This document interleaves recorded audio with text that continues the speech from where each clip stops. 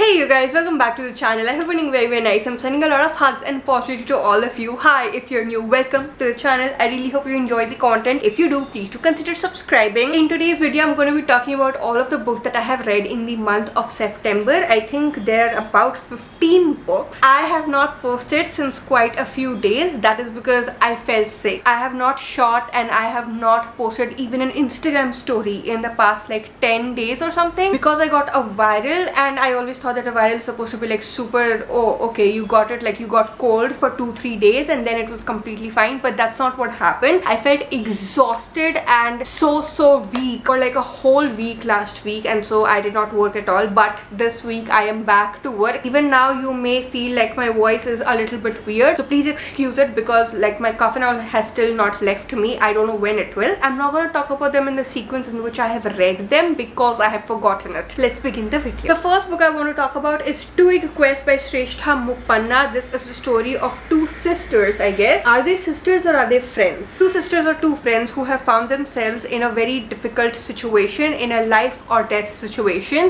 which is extremely adorable, honestly, when you're reading it, but it is a life or death situation. One of the sisters or friend, Kit, is frozen in fear and she does not know what to do and she has just sort of like given up. And the other sister or friend, I don't remember, Nala, she tries to snap Kit out of it and then you see the journey of these two people trying to get out of this life or death situation. That is all I can tell you. Apart from that, I think you should go into the story blind. The highlight of the book is that the author, Shrestha Muppanna, is actually an 11 year old and I went into the book thinking and expecting the writing style of an 11 year old and I was completely prepared and I was just like really fascinated and I wanted to see what the book is going to be like when an 11 year old has written it. Also, I love this cute little cover but once I started reading it this book was such a breath of fresh air. I had the best time ever. It was super cute and adorable and super duper nostalgic. Obviously it is great for children because it is written by a child but also if you are an adult i highly highly highly recommend it. You guys know i love books from the perspective of a child but reading a book that is from a perspective of children but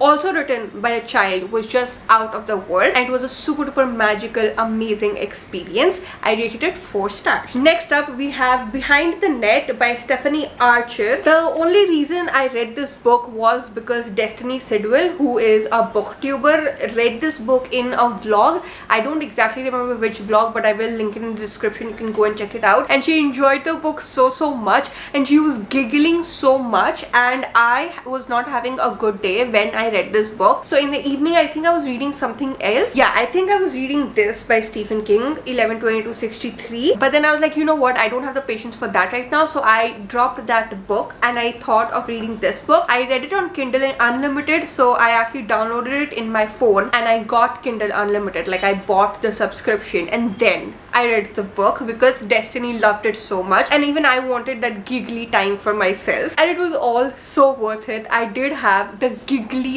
time ever. And this is like an amazing amazing rom-com book this is the story of pippa. Pippa yeah pippa and jamie. Jamie is a hockey player and pippa was there in his school. So they were in the same school when they were kids but now it has been like 14 15 years since they have seen each other and pippa needs a job and she is hired as the assistant of jamie. Now pippa remembers jamie but she thinks that jamie does not remember pippa. But the book has dual pov so you come to know that jamie does remember pippa. The guy falls first and you get to see all of the adorable thoughts that he's having about her and how she's feeling about him because of the dual POV. So many lines. I was like, oh my god, this is so, so cute. Also, I have never read a sports romance before. I think I have not. And this was my first sports romance. And the reason I never got into sports, sports romance was because I thought it's going to be very sporty and all of that sports information, I would not want it. But it actually turned out to be a lot of fun. It is a very, very spicy read. The only one thing that I did not enjoy was like towards the end of the book, towards the last 100 pages the plot went out of the window for some time and all there was was like a lot of spice or just like you know the romantic vibes and there was no plot going on and at that time I did get bored because anyhow rom-coms can get a little bit cliche and in that also if there's no plot then it gets too cliche for me so I was getting bored over there but apart from that it is an adorable book I rated it 4 stars. Next up, let's talk about 112263 by Stephen King, which I dropped. I DNF'd this book. I got like 100, 150 pages into the book. I still have the bookmark over here. And i was definitely enjoying it and i was also vlogging it because this was supposed to be my 100th book of 2023 so i was like so excited and i wanted my 100th book to be like a massive achievement and like very very special and i had very very high expectations for the book. First of all because i have seen so many reviews on instagram and everybody simply loves it. And secondly when i talked about it in my haul you guys also love it and so many of you said that it's was literally like a life-changing book. And I was having fun but I dropped it after like 100 150 pages. One because I just did not have the span to sit and read like such tiny font. I do not like the format of this book. I really wish I could get some other edition and I know that sounds very stupid but it is how it is. So I started reading this book on Kindle. Secondly I never got back to it because Stephen King's writing as amazing as it is it was very simple also. Like the story in itself is very simple. There were so many references that were being made in the book that I don't understand at all. The lighting is not good. Wait, oh my god, the lighting was not good since then. I'm so sorry about it. This is the story of the JFK assassination. The JFK assassination has already happened, but the main character of the book travels back in time to go and protect the JFK assassination from happening. Now, first of all, I only know about the JFK assassination as much as the other person. I am not like very, very well versed in it. Second of all, the book is set in the 1950s 80s. No, no, no. It's set in the 1970s or 80s and just like the mix of all of these references which are like so old I did not understand anything and I was feeling dumb here and there. Whenever the plot was going on, then it was completely fine because it was so interesting to read. But whenever I was going into the head of the main character and he was saying all of these things about, I don't know, some singers, some actors, some sort of like a reference, I did not understand what is going on. And so I just did not have the patience to sit and read the whole thing. And so I DNF'd it. However, I'm going to try and read it this month, probably next week, and I'm still counting it as my 100th book. I have read so many books after this. Those books are going to be counted as the 100th book or whatever, but I have just decided that this is going to be my 100th book, which I have not yet finished. So I will try to finish it this month. I will still count it as my 100th book and we'll see how it goes. I'm just waiting to like start feeling fine, even like physically, because even now I don't have the attention span to read anything. I have not read anything this month. Anything at all. I keep picking up books and I keep dropping them. The next book is The Center by Ayesha Manazir Siddiqi. You guys, the plot of this book has completely shocked me and every time I look at this cover I remember what the book is like because the cover is giving off the exact vibes of the book and I'm just like spooked out all over again and I still cannot believe that I read something like this. So the center is the story of the center which is an organization that promises that you can learn any language within 10 days but it comes at a cost. So when you're reading it you come to know what that cost is and the main character of this book really really really wants to learn languages because she is I think think a translator. So if she learns difficult languages then it is going to be very good for her career. Some paragraphs were like so beautifully written that I had such amazing time reading it. And then on the other hand the main character would do things that would make me question if I do like her or not because why are you doing that? And I was just so confused. But I had the best time being in the head of the main character. This entire book is very interpretation friendly kind of a book where when you're reading it like I said the character do you like her do you not like her? What do you think about her? Is she a good character a bad character? It depends upon your interpretation. The story itself depends upon your interpretation and the ending also is like a little bit like verity where you have to interpret what is going on. So it was something completely different from what I have ever read something very unique. And just like when the book was over I was like how on earth do these authors come up with such concepts? I gave this book 4 stars. Next up we have Amazing Grace Adams by Fran Littlewood. This is the story of obviously Amazing Grace Adams. Her name is Grace Adams who just one day decided in the middle of traffic that I'm going to leave everything that is going on the way it is and I'm going to start walking and I'm going to get my daughter back. The way this book reads and the blurb reads, I actually thought that this is going to be the story of this character who is just done with life and she's going to go all unhinged and she's just going to do the craziest things ever. But none of those things happen the book is written in different timelines and you get to see Grace Adams family life in one timeline like in the past and you get to see what she's doing right now after leaving her car. Every single time I read the past timeline I loved it. Every single time I was reading the present timeline I loved it. It felt like essays to me is the thing because the past timeline and the present timeline they were not going well together. And there were just so many things happening and they were not getting knit together properly because of which I could not enjoy this book as a story. Plus everything that happens in the first like 50 pages of the book is what happens till like the last 40 50 pages of the book. The plot is so utterly slow and that would have been completely fine because I don't always read books for the plot. I, I, I can read for the characters too but the characters also don't know a lot about them. The character arcs and there are no arcs in the book. And so I did not enjoy this book at all and I was actually very pissed because I was actually really really enjoying the writing style and I was enjoying the individual stories of what was going in the past timeline what is going on right now. But every single time I moved to the next chapter and the vibe would completely change and I would be like you know I can't leave it in the middle because oh I just hope it keeps getting better. But it did not and I kept read reading it and I did finish it but I did not like it. Because I like the writing style and I did like the different timelines and the different stories i still did give it 2.5 2.75 stars but in all i did not enjoy the book a lot so that's that's that's it. Next up we have Naked by Aditi Mediratta, Mediratta and Michaela Talwar. This is the story of a dead body, a naked dead body that is found in the beaches of Versova in Mumbai. It is just washed up on the shore and the dead body is actually of like this really really famous influencer Chinky. Other people are also called into the police station like into the scene to see what actually happened and for the interrogation and you get to see all of the details of what actually happens. That is all I can tell you again you have to get into the book blind because it is a thriller but I think it is a literary thriller. This is the kind of thriller where the plot is really really really interesting so you really want to read it but at the same time the characters also are so interesting and you get to get into the mind of the characters so you know who they are you know what is going on. The pacing is literally perfect the writing style was beautiful and so many emotions so many things going on. They're tied up so well together that you have a blast reading it.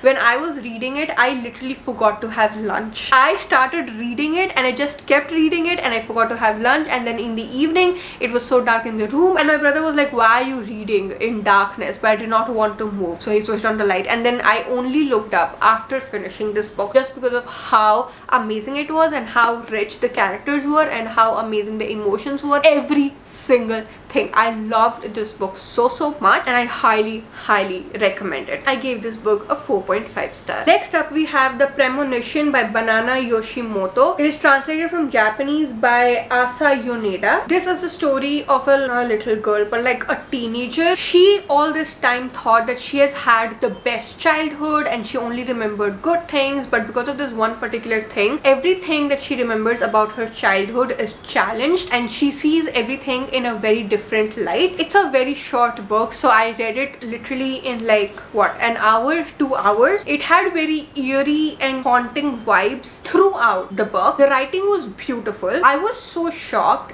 that it is such a short book and even then i got everything that the author was trying to convey and i enjoyed every single page of it so much. The plot of the book is a little wobbly and so there were parts of it that i did not understand or i was also like getting getting irritated a little bit here and there but that sort of happens with me in Japanese literature because everything is not like so well defined when it comes to Japanese literature. But the writing style was just so beautiful and the ending was so beautiful that once I finished the book and I was able to look at it as a whole that is when I was like wait what did I just read? It felt like this hole in time that I had for like an hour or two where I was completely transported some, uh, somewhere else into a very different world into a very dark haunted but beautiful world. And then when I finished the book I came back into the real world. Just that's just how beautiful the writing was. I gave it 3.5 stars. Next up we have Carrie Soto is back by Taylor Jenkins Reid. This is the story of Carrie Soto who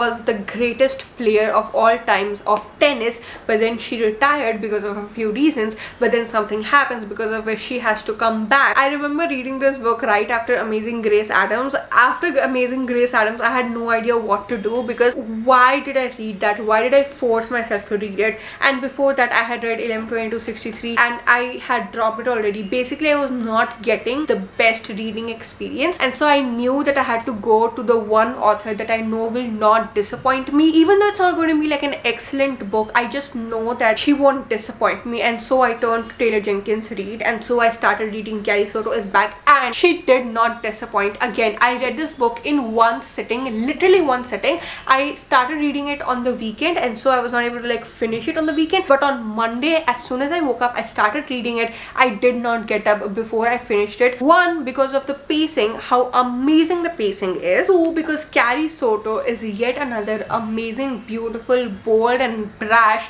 main female character and I loved her so so much. So many things that she does. Honestly like if you ask me they were not completely wrong but yes they were like borderline rude or brash or whatever but I had the best time reading it. She is so confident. She knows herself she knows her worth and she will take what she knows that she deserves. I was putting this book off till now because I thought that there'll be so much like tennis in it because Carrie Soto is a tennis player but tennis was explained in the most beautiful way ever where I actually really wanted to like start playing tennis myself. I did put a story of me trying to hit shots with a tennis racket. My brother used to play tennis and so we do have the racket at home and after reading this book I just wanted to play tennis myself. That's just how interesting tennis became to me. Super duper easy to read. You can even read it as a beginner. Please don't put it off simply because it is about tennis or whatever. It is a beautiful beautiful read. I gave it 5 stars. My 5 star read of the month. And talking about about five star reads the next five star six star read that i had was powerless by lauren roberts. This is a story of Paedyn and kai. Paedyn is an ordinary and kai is an elite. It is a romance fantasy. So in this fantasy world the elites have powers and if you are an ordinary the elites like the royal family they kill you because you are supposedly like deceased and you are going to infect the elites also and then the elites will also die. Like that is what the elites think. Paedyn is an ordinary but she poses as a mundane which is like a person who has powers and she poses as a psychic. Because of some things here and there she has to go and face the trials. It is a competition where you have to fight for your life. Fantasy plots are so complicated to explain and Kai also is there in those trials because Kai is the son of the king. It's an enemies to lovers book and it was literally one of the best reads that I had in September. This book and Carrie Soto were like the highlight of the month. This is book one and I think it's going to be a trilogy so that is one thing that killed me. But it is definitely one of the best romance like fantasy romances that I have read in almost a year. The pacing was so good. It is a slow burn book. It has no spice in it and the slow burn was so good. I have actually realized that slow burn may be like one of my favorite tropes at this point when it comes to romance and fantasy romance is definitely my genre. And so I have decided to read a lot more fantasy romance in October. That is if I can get to reading a book. I highly highly highly recommend recommend it. It's also great for beginners. Again, it's a part of a trilogy and the next book comes out next year. That is one problem. Like if you're like me, then it's going to be a problem. But if you're not and you're okay, then read this book. Next up, we have Summer of Broken Rules by K.L. Walther, which I think was the first book that I read in September. This is the story of Meredith who has lost her sister and so after like 18 months or like 2 years, she has gone to an island because one of her other cousin is getting married and she had always gone with her sister sister over there but now she has to go alone and she's so sad. But then she meets a boy over there and they sort of hit it off. And also there is a game going on in the wedding itself which she always played with Claire but Claire is not there anymore. So now she felt alone. And she met this guy and now they play together and they are helping each other. And so it becomes the summer of broken rules. I have never again read any summery YA book. So this was my first summery YA book and I loved every single second of it. It was so much fun and seeing the chemistry between the two characters the way uh, Meredith was like all swoony about the guy their conversations their banter it was also interesting. So if you're looking for a YA romance then this is your book and it's definitely a must read. I gave this book four stars. Next up we have Misery by Stephen King. This is the story of this one woman who has kidnapped a very very famous author the author of Misery. The author has actually killed Misery because he was just so tired of writing a book about misery again and again but then Annie kidnaps him and she forces him to write a book where misery comes back to life. I also watched the movie. The movie also was so so good. There was literally everything amazing about this book except two things. One, the book within the book that Paul Sheldon was writing was also there and I did not enjoy that part at all. I understand it adds element to the book so it's probably just my problem but I did not enjoy that part because every time I got into the plot that book would come and I don't care that about that book at all. So like why am I reading about it? And it would take me out of the vibe. And secondly the same problem that I had with 112263 there were references that made absolutely no sense to me. Those references were also there in the movie but like in the movie I did not care about the references you know because I was like it does not matter to me at all because I can see their expression. I think that my problem with Stephen King is that his books are very extremely movie like so when I'm reading it there are some parts which you have to visualize or which you know I would skip in a movie and I wouldn't mind it at all but I don't know what to skip in a book and what not to skip in a book or what it's okay like if I don't understand and I can just move on from it and that creates sort of like a reading problem for me because that takes me out of the story even though the writing style and the story in itself is so interesting. The next book is Western Lane by Chetna Maru. This is the story of these two sisters, two or three sisters, this family that has lost a mother and the entire family together is coping up with the loss of the mother and you get to see how they're coping up with it because they throw themselves into a game of squash. The father is training them harder than ever and you just see how they react to their mother's loss. When I got it, it was longlisted for the Booker Prize and now it is shortlisted for the Booker Prize and I think it definitely deserves it. I just have never read a book that is so real about how you deal with grief as a family. The reality that I see myself around me. When something happens and everybody is literally suffering but everybody is acting like everything is okay and they are coping with it in ways that they shouldn't cope in and they are being too hard on themselves and nobody is talking about what is actually going on. All of those feelings were so well captured in the book. It is set from the perspective of a teenager one of the sisters and reading that was super heartbreaking. It was very subtle but super heartbreaking if you are in any way able to relate with it. The main character the way she's growing up and the way she's realizing who she is for the first time ever was so fascinating to read. Beautiful writing, beautiful story, super relatable and an experience of a lifetime. Definitely. I love this book. Another 5 star read. Next up we have Threads That Bind which again is one of those books which I did not know is part of a series and I just started reading it out of nowhere because I think the concept is so interesting. It is a story of the three sisters who are the descendants of fate and then later you come to know everybody, every character in the book is a descendant of some sort of Greek god and one of the sisters is able to see the thread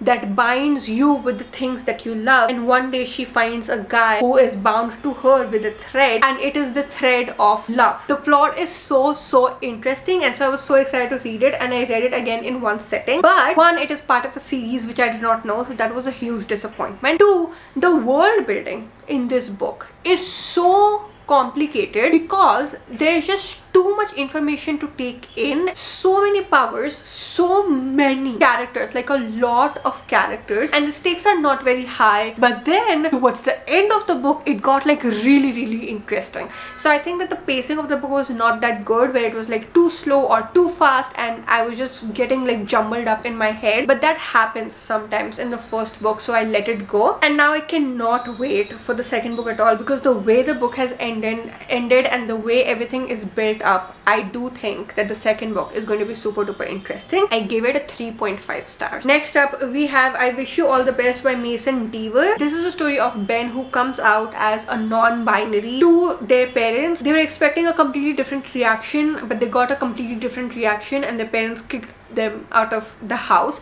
And now you see their journey with how they cope up with whatever has happened and how they find themselves out of this situation which they did not even know is ever going to happen in their life. This was such a heartbreaking book. Just listening to everything that was going on in ben's mind i was like oh my god. Like i just want to give a hug. I genuinely just want to get go into the book and give a hug to the main character. But also it was so tender so beautiful and it felt so real. Rated this one also five stars. And in the end we have the school for good mothers by jessamine chan. This one woman who is trying to take care of her child and take care of her work at the same time. So one day for work she goes out and she leaves her child alone but then her neighbors hear that the child is crying and then they call the police and the police takes the child in custody and uh, calls the mother and then they declare that the mother is not fit to be a mother. And so she has to be retrained as a mother. I was totally amazed by how amazing this book is written and how amazingly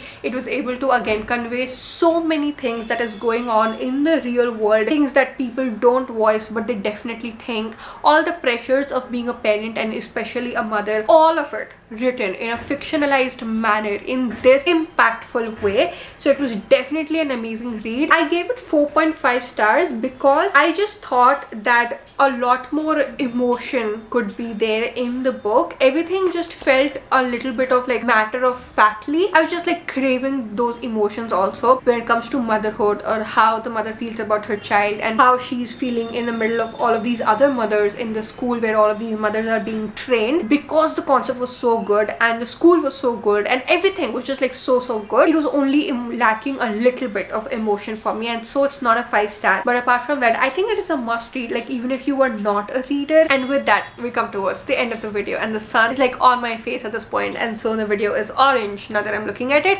I really hope you guys enjoyed it. I'm sorry if my voice was not good enough and it was like nasal but i do hope you got at least one recommendation out of the video. I'll see you guys very very soon